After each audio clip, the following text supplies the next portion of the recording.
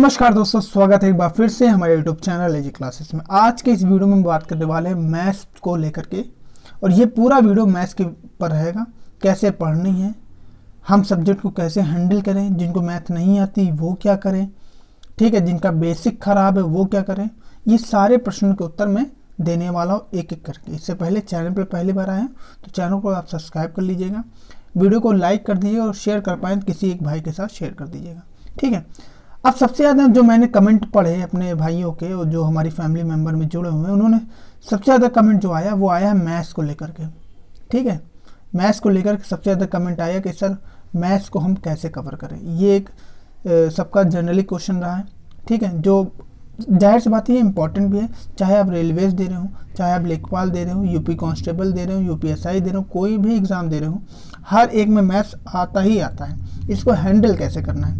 देखो आज जो कंपटीशन फ़ील्ड है, इसमें दो तरह के स्टूडेंट होते हैं। ठीक है? दो तरह के स्टूडेंट पहला स्टूडेंट वो जो साइंस साइड से है तो उसको ज़्यादा मैथ्स में इतनी प्रॉब्लम नहीं होती, क्योंकि उसको बेसिक कैलकुलेशन आती है और वो अपने आप को थोड़ा मॉडिफाई करता है। और एक होता है आर्ट्स वाले स्टूडेंट उनके लिए बस थोड़ी समस्या ये होती है कि उनका बेसिक क्लियर नहीं होता। ठीक है? फैक्टर क्या होता है, प्रमेय क्या होता है, अपरिमेय क्या होता है इंटीजर्स क्या होते हैं होल नंबर्स क्या होते हैं नंबर्स क्या होते हैं, ठीक है? परसेंटेज को ब्रेक नहीं कर पाते। तो ये सब चीज़ें, क्योंकि हमने तो जो साइंस वाले स्टूडेंट हैं, वो बचपन में ये सब चीज़ें पढ़े हुए हैं। वेन डायग्राम क्या होता है ग्राफ क्या होता है, ये सब चीज़ें वो पढ़े हुए हैं। तो उनको इतनी समस्या नहीं होती, पर समस्या इनको ज़्यादा होती है। पर ऐसा नहीं सबसे ज़्यादा समस्या यही होती है। मैं आपको बता दूँ लिटरली बता रहा हूँ कि बहुत से ऐसे स्टूडेंट जो साइंस वाले भी हैं, उनका मैथ्स इतना वीक है कि मैथ्स का कट ऑफ़ नहीं निकलता है, ठीक है? तो ऐसी बात नहीं है। यूपीएसआई में आप देखेंगे तो मेरे ऐसे बहुत सारे लोग हैं जो मैथ्स पढ़ाते रहे हैं और उनका मैथ्स का कट ऑफ़ क्लियर नहीं हुआ है। ठीक है? दो तीन दोस्तों के मैं नाम गिना सकता हूँ, ठीक है? उनका मैथ्स का कट ऑफ़ क्लियर नहीं हुआ। अब वो अलग बात है, वो दुर्भाग्य होता है कि धर्म, उनकी काबिलियत पर शक नहीं किया जा सकता, पर होता है। ठीक है? तो आपको ऐसे मैथ्स तैयार करनी है कि आपका बेसिक एकदम क्लियर होने पाए। अब मैथ्स हमको पढ़नी कैसे होती है? ये सबसे बड़ी चीज़ होती है। देखो कभी भी मैथ्स में वो चैप्टर आपको नहीं उठाना जो आपने कभी नहीं उठाया, जो आपने कभी पढ़ा नहीं है।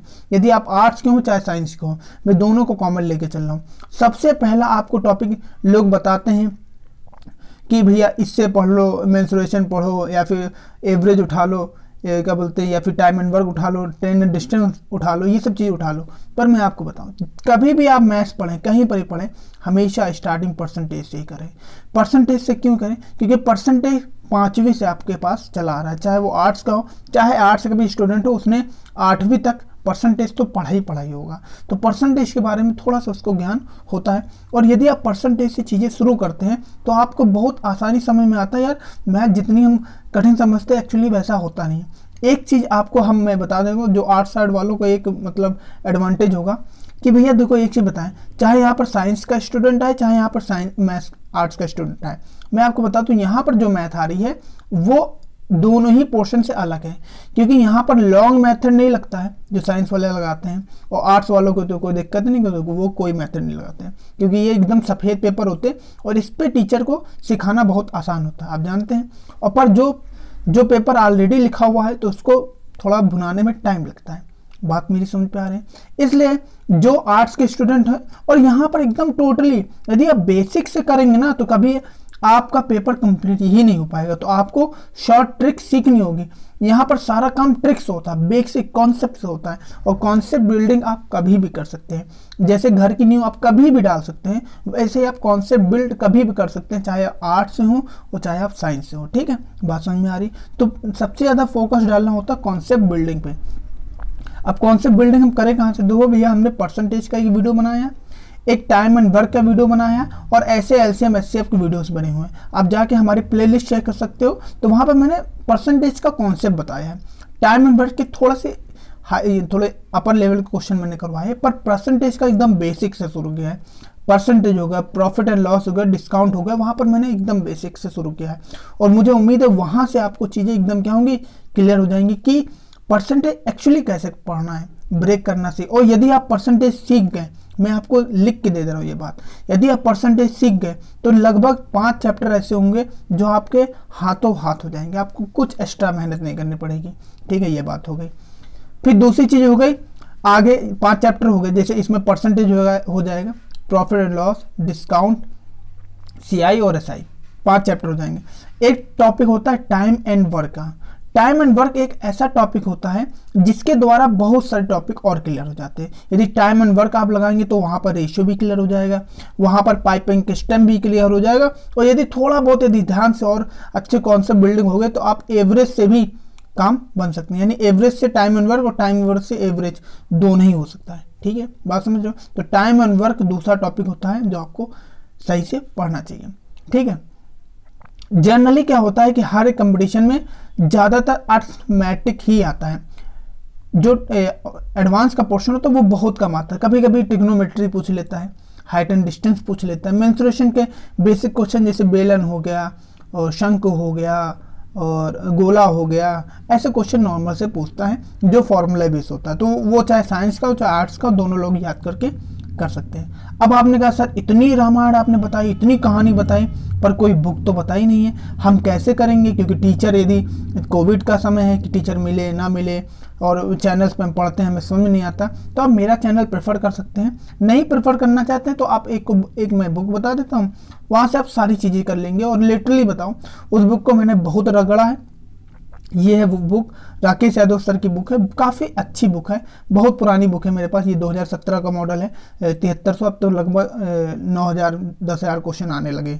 चौरानवे, पंचानवे सौ की बुक आने, यानी क्वेश्चनों की बुक आने लगी। बुक भी ज़्यादा महँगी नहीं है। दो ढाई सौ रुपये की होगी मुश्किल से। ठीक है? इस बुक को आप पढ़ लीजिएगा। और लिटरली मानिए, यदि आपने इस बुक को एक बार, दो बार लगा लिया तो आपकी कॉन्सेप्ट चाहे जितने रद्दी हों वो दो से तीन महीने में एकदम खत्म हो जाएँगे। यदि आपने लगा, और सबसे बड़ी कंडीशन है, इस बुक को लगातार लगाना है, लगातार। यदि आपने एक महीने यानी तीस दिन का कॉन्सेप्ट रखा है तो तीस दिन में इस बुक को ट्राई करना है कि जो भी चैप्टर पढ़े पहला, दूसरा, तीसरा ट्राई करना है, वो खत्म कर देना है। ठीक है, लगभग खत्म कर लेना है। क्योंकि आप लगातार पढ़ेंगे तो आपके दिमाग में कॉन्सेप्ट बिल्डिंग लगातार होती रहेगी। यदि एक दिन पढ़ें मैथ क्यों नहीं आती लोगों को? सबसे बड़ी दिक्कत है। वो एक दिन पढ़ेंगे, चार दिन छोड़ देंगे। फिर एक दिन पढ़ेंगे, फिर चार। तो जितना पुराना कॉन्सेप्ट पढ़ा होता है, वो सब बुला जाते हैं। फिर शुरू करो, फिर से शुरू करो। अब भाई रीजनिंग तो है नहीं कि एक बार कॉन्सेप्ट पढ़ा, वो सालों याद रहेगा। ये मैथ है, यहाँ पर क्वेश्चन अपग्रेड होते रहते हैं day by day day by day तो आप चाहे यूपीएसआई दे रहे हो, चाहे एनटीपीसी दे रहे हो यूपी लेखपाल दे रहे हो कांस्टेबल दे रहे हैं, किसी भी एग्ज़ाम के प्रिपरेशन कर रहे हो, ये बुक आपके लिए राम बाढ़ है। इस बुक को आप ले लीजिएगा, आप इससे करिएगा। मैं इसी बुक को रिकमेंड करता हूँ, बहुत सारी मार्केट बुक है, बहुत सारी मतलब मैं गिनाऊँगा ना तो इतनी सारी बुकें हैं, मैं मैं किसी को रिकमेंड नहीं करता। आपकी इच्छा हो तो लीजिए।